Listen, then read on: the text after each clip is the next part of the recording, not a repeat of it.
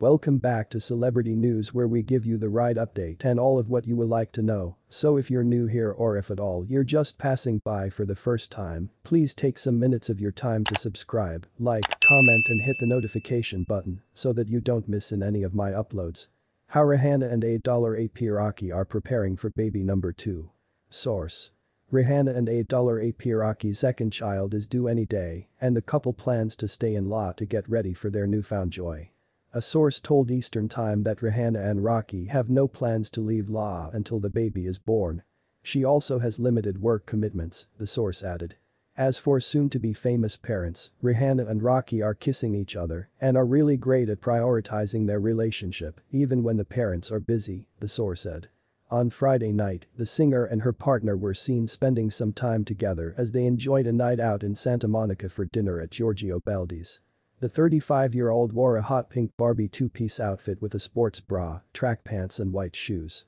She paired it with a diamond necklace, a silver handbag, and a pair of rhinestone-encrusted sunglasses. Rocky is by his side wearing a white shirt, bucket hat, gray pants, and brown suede shoes with blue laces. The source added that Rihanna's second child is due any day and that Rihanna is as ready as she can be. The source said. She knows her world is about to get exponentially busier with two children under two at home.